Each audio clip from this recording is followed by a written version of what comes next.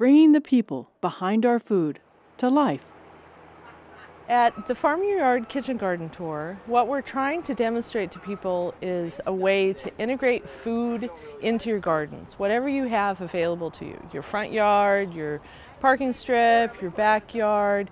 It doesn't have to be a garden proper. And what we're trying to illustrate is all the different styles.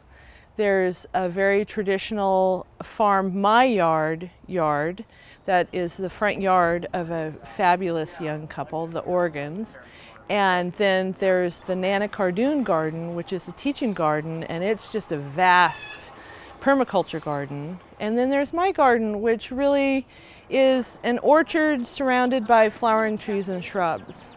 And so there's a little bit of every kind of gardening style Follow along, follow along, We're on a tour. Farm is a term that, that I use to apply to people who raise food for people. And so it can be quite small. We're an acre and then we farm a half acre of our neighbors.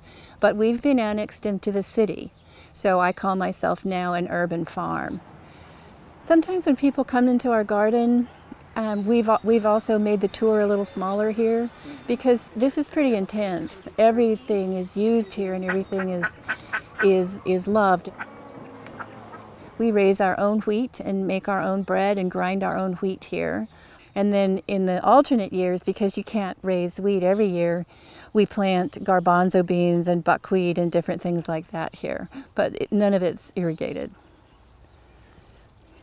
I can't believe these beans. Um, these three are the Fortex.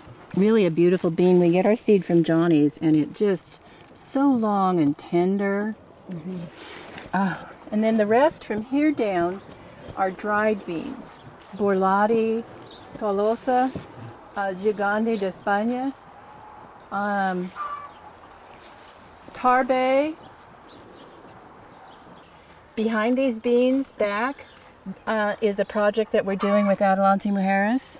So right now this whole area here is being farmed by the Amaro family, three children and the mom and dad. And what do they do with this produce? They take it to their, they have two businesses that they take it to. One is a uh, food stand that she has at the market and then they also have a vegetable stand at the market. And this is all in in an urban setting. Yes, yes. There's so much food comes out of here. Come over here. Let me show you some more. He's got kale, um, eggplant, and broccoli growing on a grid. And then he made little furrows diagonal down there. And in the furrows, he threw cilantro seed and spinach seed. And he didn't even cover it up and they all sprouted and now they're growing tender and in in the shade of the other plants so it's densely packed densely we have used this earth oven oh a lot when was it built it was built about 10 years ago hmm. and then we take the food from here to table I put a write up into our brochure that I think really sums up what triggers these events of people growing more and more food in their yards, fruits and vegetables, and it stems back to uh, back in the Depression. You know, people grew what they needed to eat and to sell to get extra cash.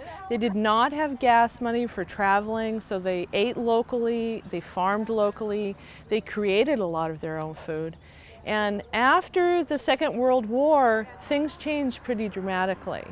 Everyone um, started working more. They had these new homes, and there were new development, which was the supermarket. And as soon as the supermarket went into place and people started buying prepared foods, canned foods, um, frozen foods even, that had been developed during the Second World War, suddenly you were too busy to garden and to make your dinner and to create your own food from your own garden and it's just has grown so much that now people hardly even know where their food comes from. And what we hope to do with this by having people see in place how this works, taste the food, see the chicken, see the egg, see the blueberries, see the plum tree, that they realize this is where food comes from. It doesn't come from a grocery store. It comes from the land. And the land is the thing that we need to take care of. Most importantly, the land and the water together. So that's the biggest thing I think a person can walk away with a concept, an idea is wow, if I want a plum, I can grow a plum tree. If I want a blueberry, I can grow a blueberry. I don't have to go to the grocery store. So that's that's really the most important thing that we hope people learn with this tour.